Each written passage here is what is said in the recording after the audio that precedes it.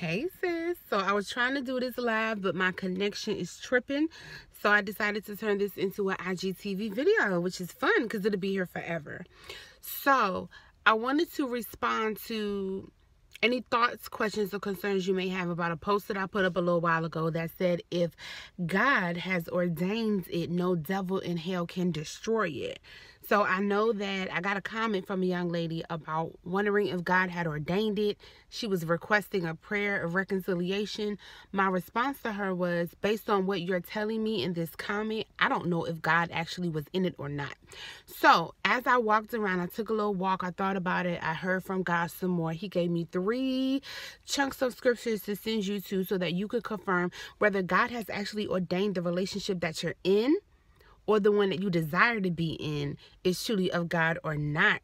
Number one, the greatest commandment will be in fulfillment. I'm also going to be sending an email about email out with all of this detail. So you want to make sure that you're on my mailing list. Go to saritafoxworth.com, get on my mailing list. I'm going to email you this in greater detail because um, I only have 10 minutes per video and I think I might make this two parts to make this point. So, number one, the greatest um, commandment will be in fulfillment. What is the greatest commandment? To love the Lord your God with all your heart, soul, mind, and strength. The second unto this is to love your neighbor as you love yourself. So therefore, is the love of God being expressed in and through your relationship in accordance with the Word of God. In other words, are you loving Him with the true love of God, and is He loving you with the true love of God? Now, the supplemental scripture that goes along with this one is going to be found in First Corinthians chapter 13, verse 4 through 8, because that is the true definition of love. Love is not about your emotions, love is not about your hormones, love is not about how you feel about that person, and vice versa. Love is an action word. Now, you always want to examine if the love of Jesus Christ is present in your relationship between them and you. So if you're describing to me your relationship and it's filled with drama or it's filled with abuse, whether it's verbal, emotional, mental, does not matter. Any type of abuse is not coming from a person that is filled with the love of Jesus Christ because if they were, they would not be abusing you. Only somebody that is demonically oppressed would think it's okay to abuse a woman. It is never okay. So therefore the love of God is not there. If there's a if there is um things taking place in the relationship that cause you to be drawn away from God, cause you to be, be confused about what God has said to you, cause you to be confused about what the Word of God says, causes you to do things and operate in a manner that opposes the Word of God, then that means the love of God is not there because why would God go against Himself? He wouldn't.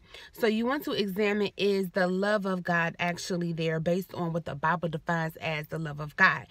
The second way to tell if a relationship is ordained by God or not is if the Great Commission is being fulfilled in your lives as you are in a relationship together. Now, I am speaking to kingdom-minded women of God.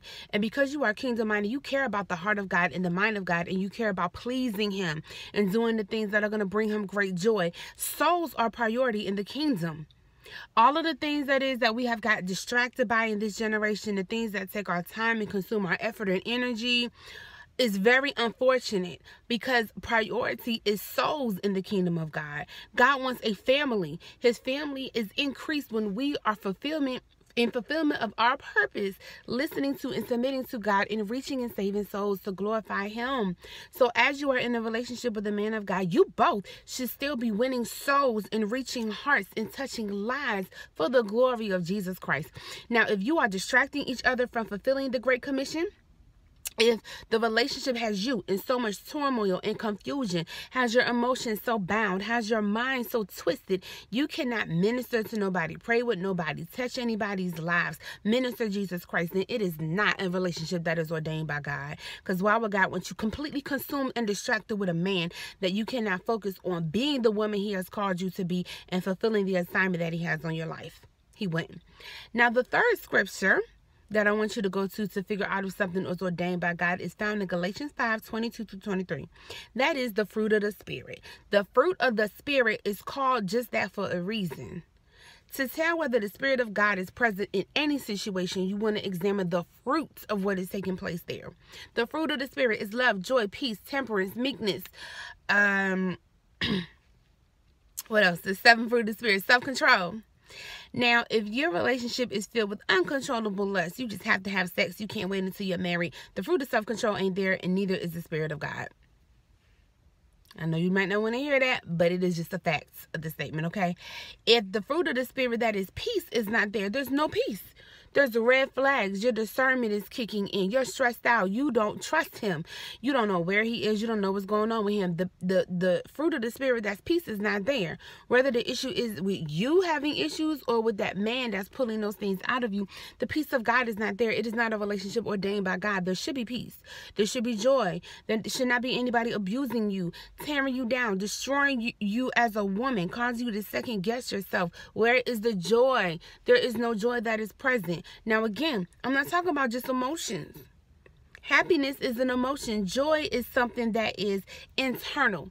Joy is something that is birthed from the Spirit of God. Joy is something that is stable and solid. Happiness up and down, gone with the wind. One day you're happy, one day you're sad.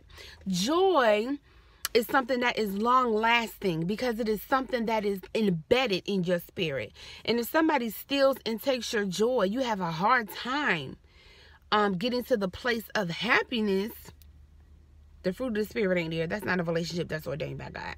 So check those three scriptures okay? Make sure that you check the great command the greatest commandment the great commission and the fruit of the spirit also go with the supplemental scriptures that I've also given you as well. This is how you would tell if a relationship was ordained by God. Now, if you say, okay, Sarita, well, I was in a situation that was not ordained by God. Now I'm struggling to get over him. I'm struggling to let him go. I'm struggling to move forward and get my life back on track with God. That is why I have created the Healing and Restoration Coaching Program. I want you to go to the link in my bio and click on Healing and Restoration Coaching Program and allow me to help you. Allow me to help you to break the the soul tie, to get your life back on track with God, to get refocused on God, to completely let go of that situation and that person. Since if he was abusive to you in any way, if he caused you to doubt who you are as a woman, if he caused you to have low self esteem or insecurity, he is not from God. As a matter of fact, I believe he was sent by the devil on a mission to destroy you. Thank God he didn't. Now there's an opportunity for us to work together and for me to mentor you, pray with you, coach you, as well as for you to be surrounded by a group of like minded women in the support system to help you get to the place of healing and restoration. Restoration means that you are going to be made whole and then be put put into a better position than you were before that man came into your life. So you need help beyond just severing soul ties. You need help beyond just breaking a soul tie. You need help with healing.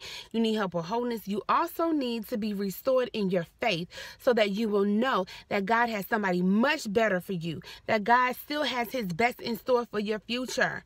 And that is what I am here to help you with. Go check out all the details. Um, right now, there's an early bird price going on for the next seven days, and I want you to sign up. I want you to sign up because I want to help you not to get caught up in a situation like this again. And most importantly, I want to help you to get yourself untangled so that you can be focused, home, have peace, have joy, and be filled with faith for the amazing man of God that God wants to send you so that you guys can have a relationship that glorifies Him, that leads to a marriage that is also going to glorify Him, okay? If you have any questions about it, feel free to send me a DM. Payment plans are available as well. So just contact me. Send me an email, though, not a DM. Send me an email if you want to inquire about a payment plan and we can work something out. Okay, so I hope to see you there. Bye.